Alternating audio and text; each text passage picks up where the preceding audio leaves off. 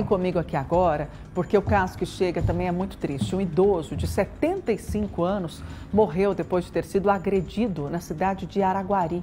O Júnior Oliveira está com as informações, está aqui a vítima aparecendo para a gente, né? Ô Júnior, alguém foi preso? Alguma coisa aconteceu? Como é que vai ser isso?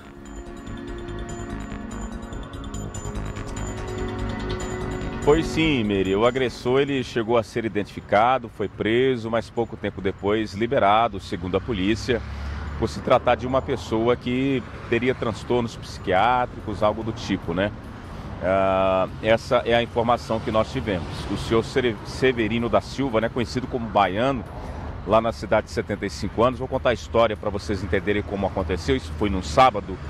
Ele é, viu esse homem, parece que estava é, arrancando um, um, um galho de uma árvore, deteriorando ali uma árvore, algo do tipo. E aí ele foi questionar esse, esse homem sobre aquela situação e de repente foi agredido com socos, né?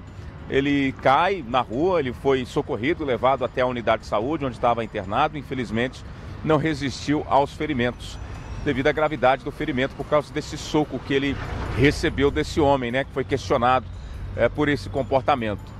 E aí, Neri, é o seguinte: a polícia agora abriu uma investigação sobre o caso e vai apurar a inimputabilidade desse homem, né? Se vai se confirmar realmente essa situação, é, dessa questão aí, desse problema psiquiátrico que esse homem teria. Isso tudo vai ser investigado pela Polícia Civil que já abriu uma investigação. Mas infelizmente o idoso não resistiu aos ferimentos, dada essa agressão. Né? Foi uma situação muito violenta, pelo que contaram ali algumas testemunhas. Ele chegou a ser internado, mas infelizmente não resistiu aos ferimentos. O caso agora está, é, está sendo investigado pela Polícia Civil. E a gente, claro, né, acompanhando essa história.